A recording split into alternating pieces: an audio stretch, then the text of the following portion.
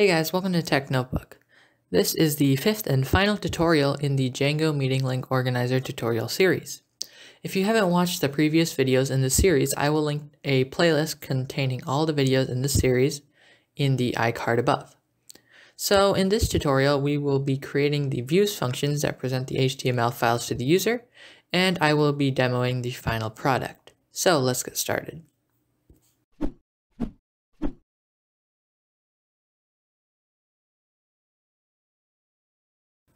Okay, so now to get started, we need to open up this views.py file. So inside views.py, as I mentioned before, we will be creating the functions that present the HTML files to the user. So this will be our um, base.html, link to click.html, and no meetings.html. So in our uh, urls.py, we called the views.py current underscore meeting function uh, when we wanted when we went to the uh, empty path. So we're actually going to create this current underscore meeting function. So the way we do that is by typing in def current underscore meeting. And this will take in the parameter of uh, request. So when we uh, pass in this function into uh, urls.py, urls.py will automatically pass in request into current meeting. So now we just need to add a colon. So before we can actually start writing our code, we need to import a few modules. The first module we will need to import is datetime. And the way we do that is by uh, typing in from datetime import datetime. So this uh, datetime module is used to tell the Django engine when to present the meeting link to us. So now that we've imported datetime, we would need to import the models from uh, models.py so we can actually access them inside views.py. The way we do that is by typing from dot models import link. And we've imported the link model as well. So now we can actually start writing our code inside the current meeting function. So remember, this function only gets run when the user goes to a certain uh, URL.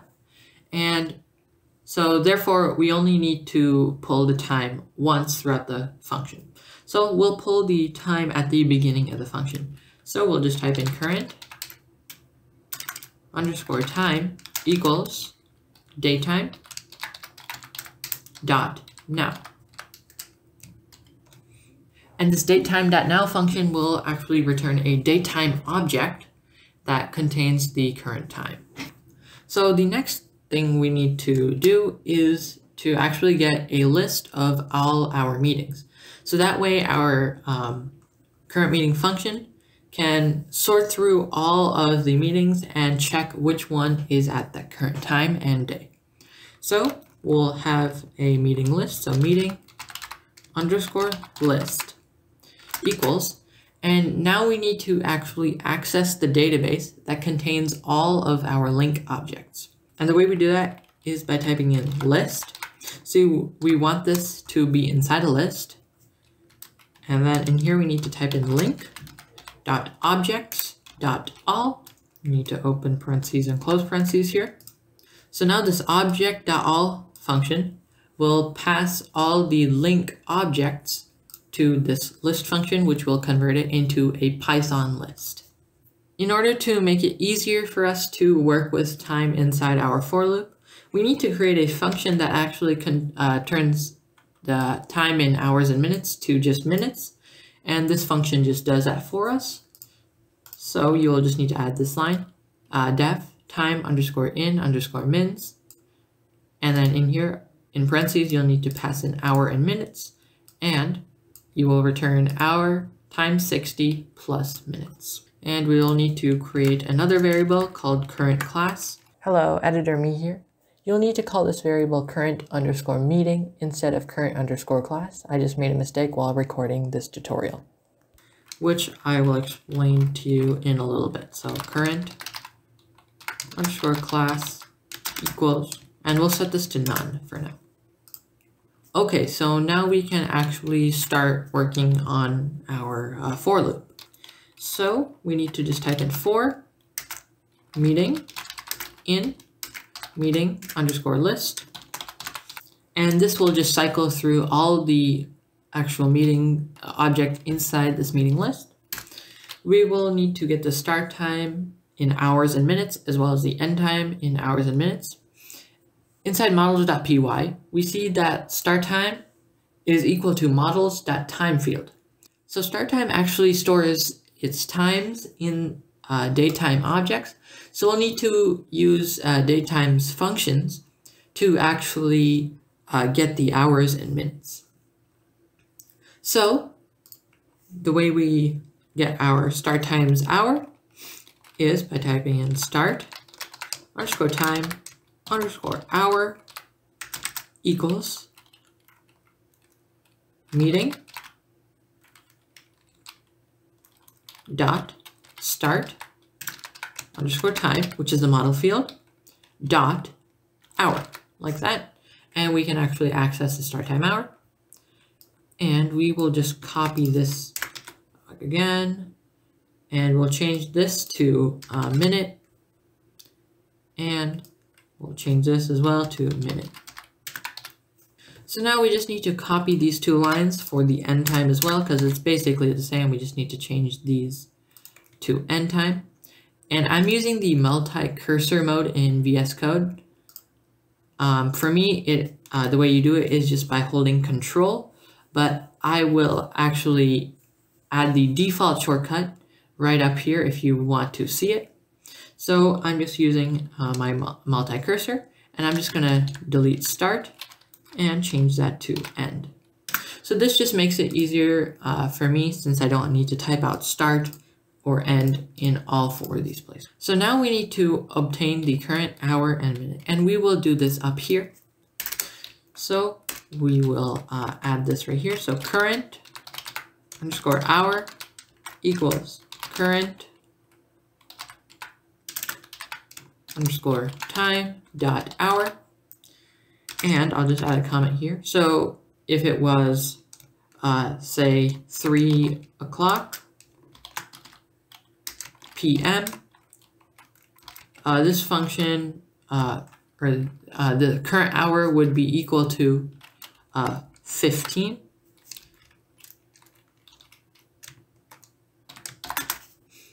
And now we need to do the current minute. So current underscore min equals current underscore time dot minute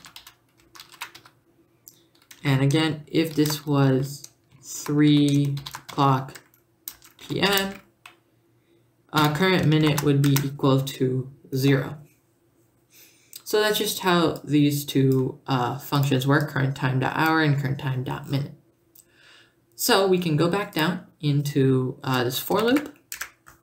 So now we are going to continue pulling attributes out of this function. So we will uh, create another list. We'll call this day underscore list.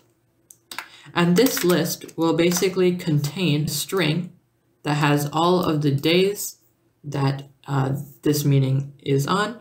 So say it, this meeting was on Tuesday, Wednesday, and Thursday. It would say Tuesday, Wednesday, and Thursday inside this list.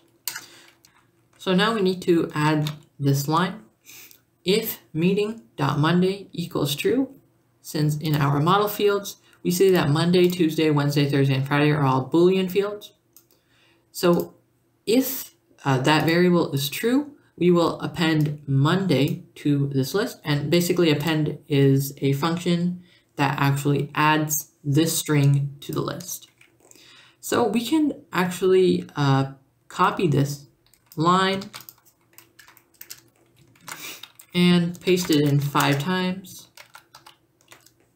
Make sure the indentation is the same. There we go. Now it's on there five times.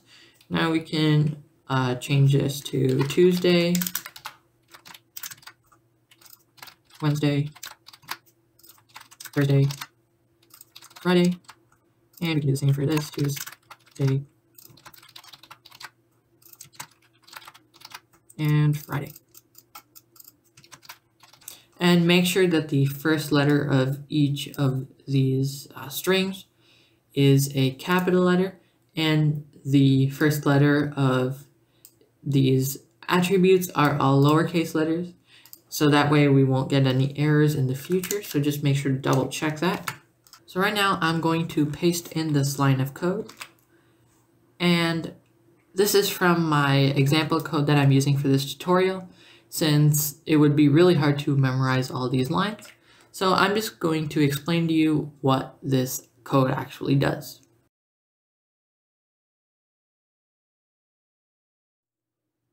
So the first condition checks if the meeting is not on the current day.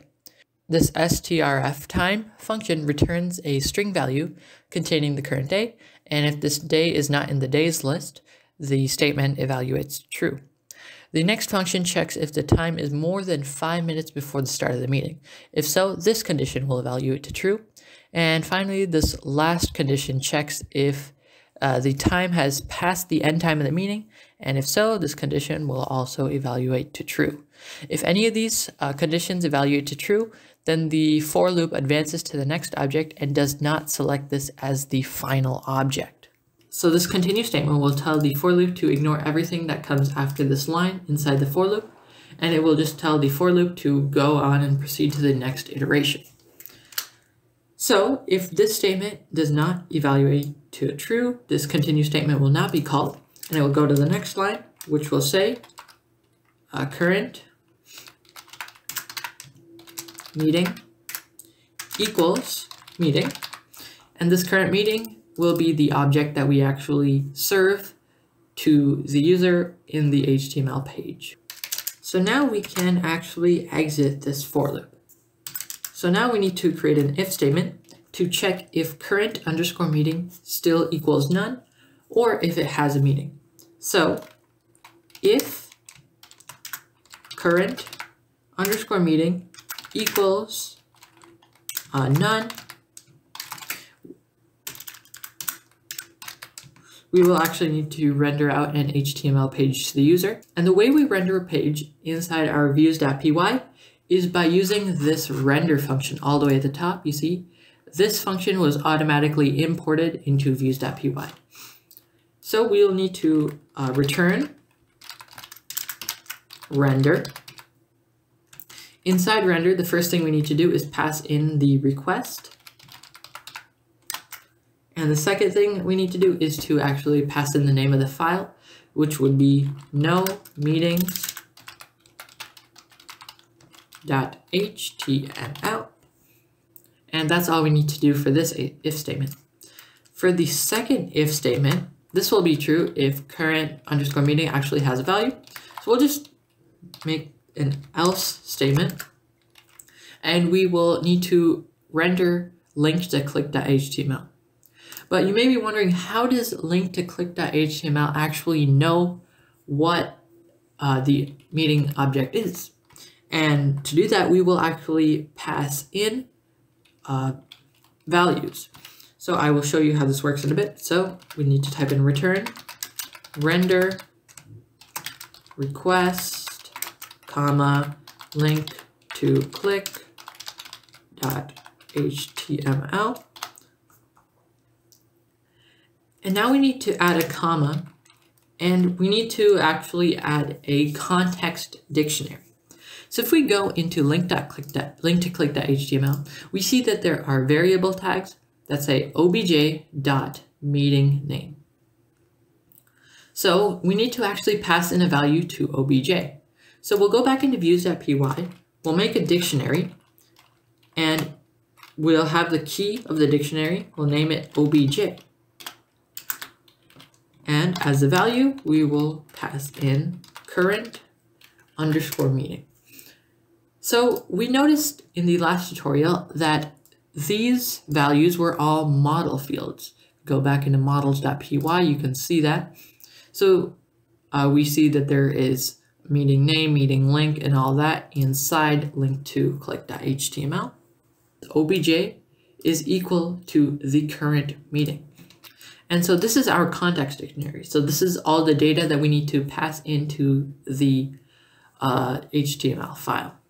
So now that you've done that, we have actually written all the code for our uh, Django project. And so the next thing I'll be doing is I will be demoing the project and we will be going through and checking for any bugs. So let's do that right now. Okay, so the first thing we need to do is to open up the VS Code terminal. And we have that up right now. And now we need to actually uh, go to the root directory of our project, which would be src. So we need to uh, type in uh, cd src now we need to type in python manage.py run server, hit enter, and now we're running this uh, server. And if you don't see any errors right here, that means that your code doesn't have any uh, syntax errors in it, so at least we're good there. So now we need to open up our browser, and we can uh, just type in uh, localhost port 8000 and we can uh, look at it and check what the error is. So as I said, there could be a few errors if I made a few typos. As you can see here, I spelled Thursday wrong. So let me just fix that. We just add the S there. And we can run that again. So let's refresh this page. And currently we are on our uh, main page. So currently I don't have any meetings, so it says no meetings. And there's a button that allows you to go home and create a new meeting. And it presents us with the Zoom login. So this is the page that we created in the last tutorial.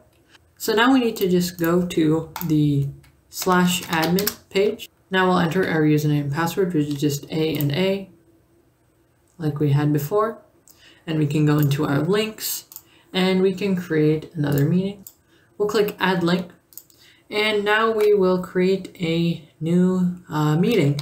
So let's just call this uh, Django tutorial. We will have the meeting link uh, be, let's say, zoom.com slash, I don't know, A, B, C, D, E, F, G. I know this is not a real link, but it's just for demonstration purposes.